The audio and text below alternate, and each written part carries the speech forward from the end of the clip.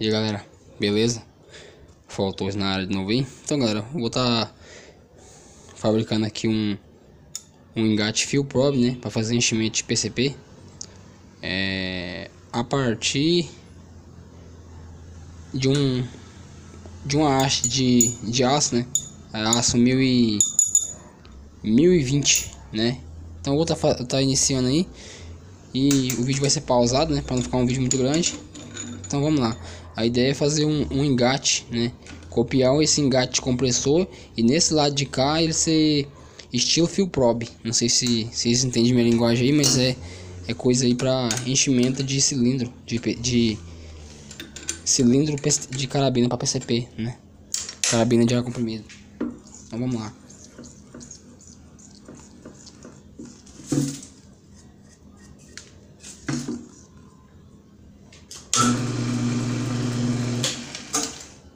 Ficou meio descentrada.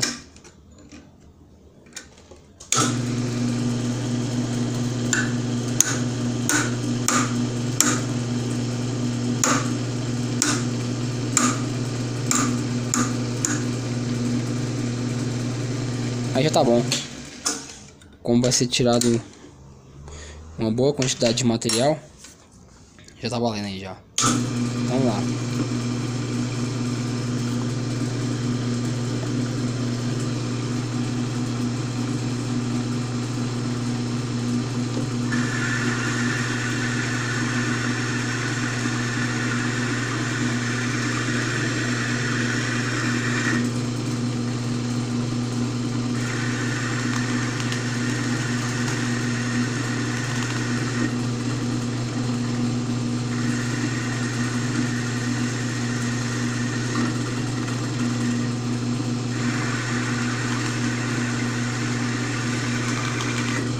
Ah galera, essa ferramentinha que vocês estão vendo cortar aí é a ferramentinha caseira, viu?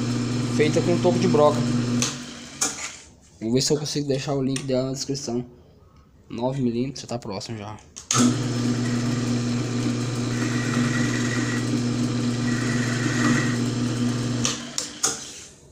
Uma dica aqui galera, ó.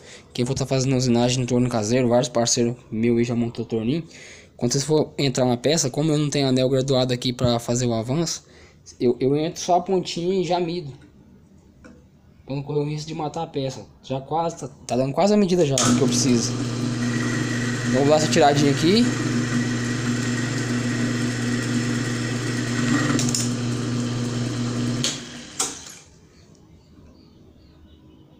Oito e meio. O engatezinho original aqui é oito. Então eu vou tirar mais uma beirinha ali só. Lá na pontinha primeiro. Aí eu vou medir aqui. Quanto é que deu. É bem aí.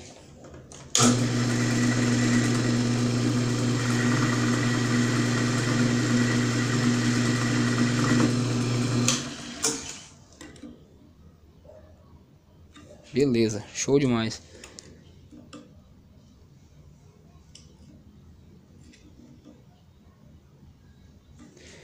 Essa próxima medida que vai vir aqui é 11 milímetros.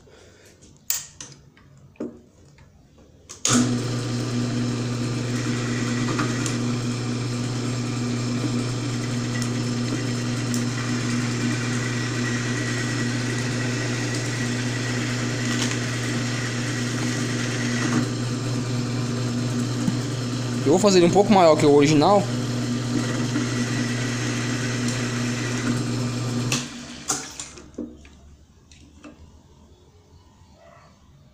Onze e meio. Ó, galera, é o seguinte. Deu 11, eu, eu preciso de 11 milímetros, né? Eu vou vir aqui no começo dele aqui, ó. E tirar só um pouquinho.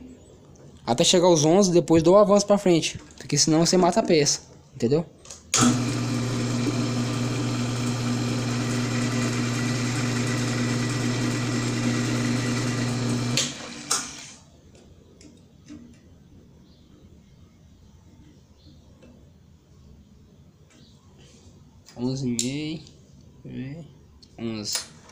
beirinha.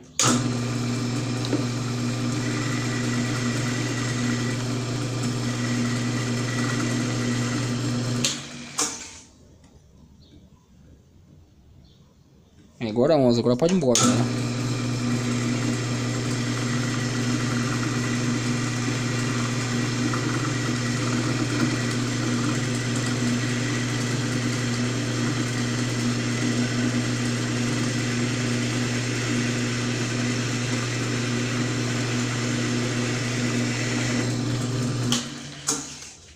Galera, eu vou dar uma pausa, vou continuar fazendo, depois a gente vai mostrar o resultado.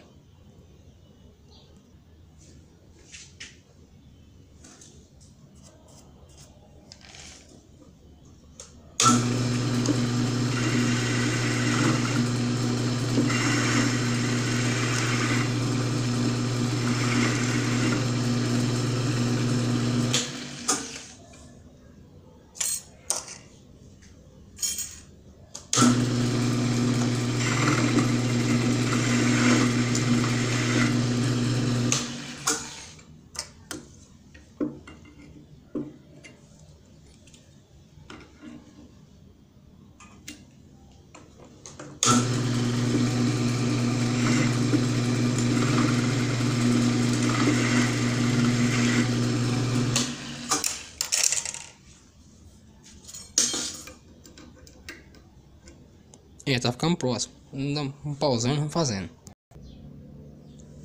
Assim, galera. E voltamos aqui, né? Mais uma dica. Eu... O engatezinho tá ali, eu já fiz essa partinha aqui. Esse rebaixinho, o do engate, ele, ele é um pouco chanfrado. Eu deixei mais reto para ter uma, uma melhor trava, né? No que engate engatar aqui, eu já testei, quer ver? Aqui, ó, ó. E vai engatar, quer ver? Ó, engatou, viu? E já era, ó. Aqui, ó. Ele sai, né? Na hora que você, na hora que você puxa essa orelha aqui, ó. As molinhas se desprendem lá e sai, mas tá engatando, ó. ó. Engatou. Se você puxar aqui na ponta, não sai. Agora se você sai. Só que a dica aqui agora é pra fazer o furo de centro, né? Então vamos lá, ó. Vou mostrar pra vocês como é que eu faço aí sem broca de centro, sem nada. Só com a broca comum mesmo. Vocês vai Vai pegar a ferramenta bem, bem no centro da peça e vai dar uma passadinha, faciando ela, deixando bem certinha. Ó lá, só a beirinha, ó.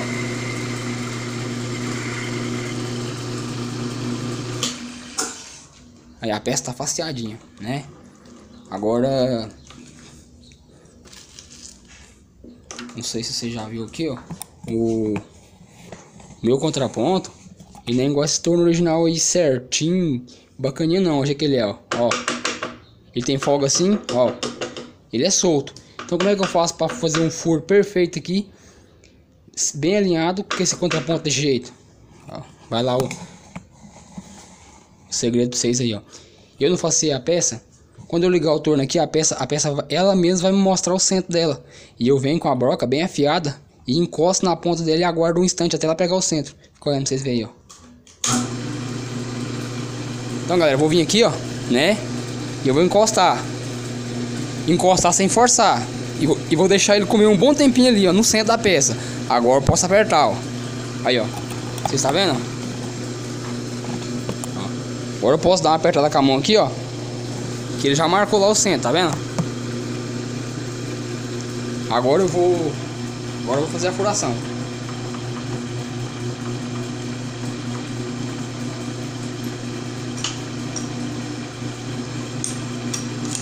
Vamos lá então.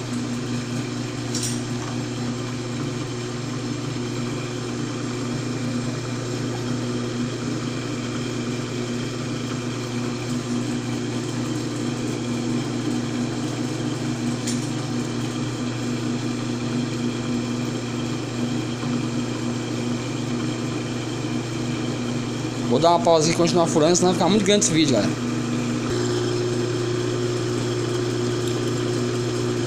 Finalização do furo, ó. A broca já entrou 5 centímetros para dentro da peça.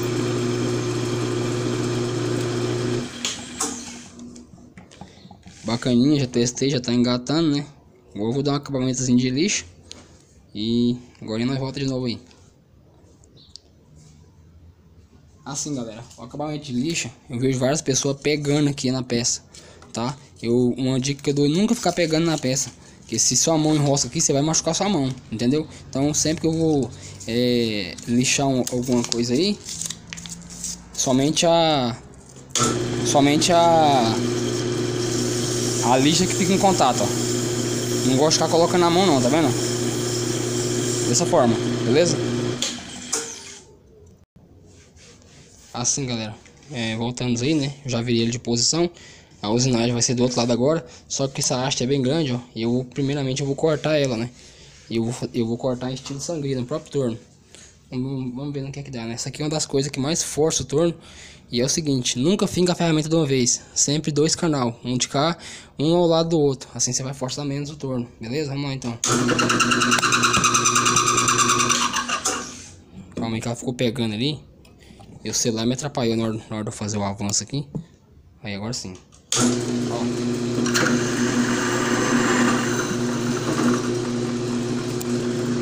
Vou aproximar o celular ali pra ver se, se dá pra vocês. Vocês estão vendo. A sangria, quanto mais encostada, quanto mais, mais próximo ao torno, é melhor, viu, galera?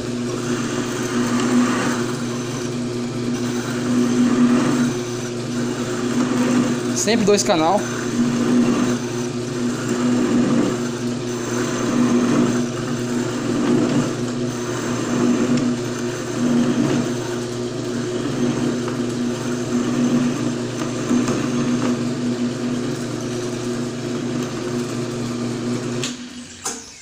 Já tá ótimo aí, ó. ó. Belezinha, tá? Agora eu vou pausar aqui e vou continuar a usinagem aí. Agora nós volta de novo.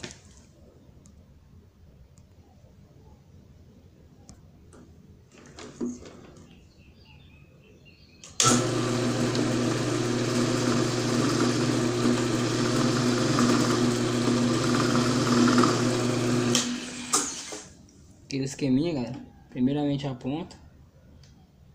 Aí, tá bem próximo à medida que eu preciso.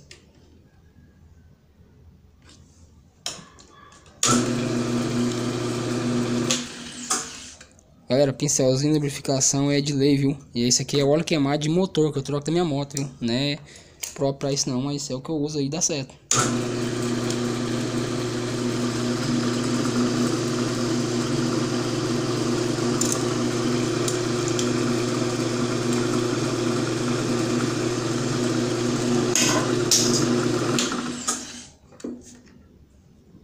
Dar mais uma pausa aqui da última passada. Ele tá agora com 9,5. Vou rebaixar para 9. Depois nós volta de novo aí para não ficar grande. Esse vídeo já tá excedendo os seus 12 minutos. Aí galera, a última passada deu a medida dos 9. Mas tem que ser bem devagarzinho para já ficar quase liso, tá vendo? Tirando só o fiapinho mesmo.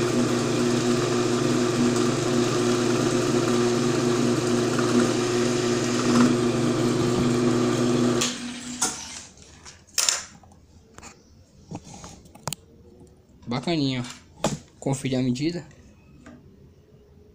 É isso aí. Agora eu vou dar um acabamento de lima, lixa, depois fazer o canal do Zoring.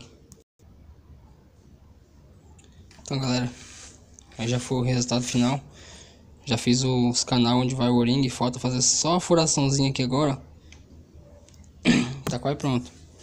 Testar aqui o O-ring aqui. Já testei, deu mais ou menos certo.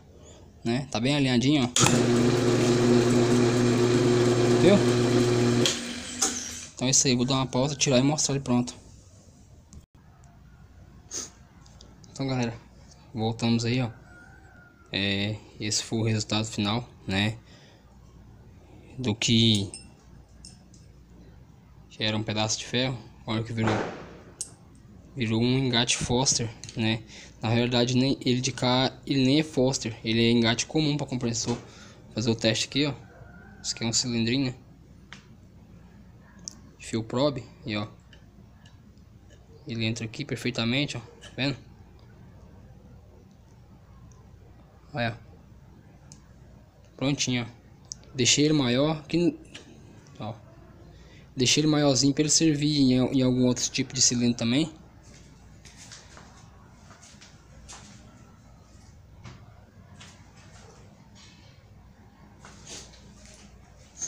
Aí quando quando vir aqui é só engatar a bomba e fazer o enchimento.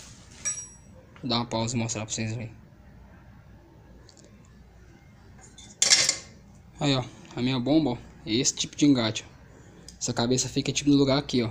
Só que eu não gosto muito de usar ela assim. Desse jeito, dessa forma. Eu sempre, todo que eu, que eu pego, eu arranco esse trem aqui e uso assim. Com, com um negócio. Então, fazer um teste, ó. De engatamento, né? Porque desse jeito que eu faço aqui, ela fica bem dura para engatar. Eu acho melhor, ó. Viu? Agora, quando tirar aqui, ó. Vou tirar aqui, galera. Ficou muito justo, né? Que eu fiz bem... Bem justo mesmo. E na hora de montar aqui, eu não passei nada. Não passei... Aí, ó. Viu? Perfeitinho. Então é isso aí, galera. Falou, valeu. Espero que possa ajudar alguém aí as dicas, né?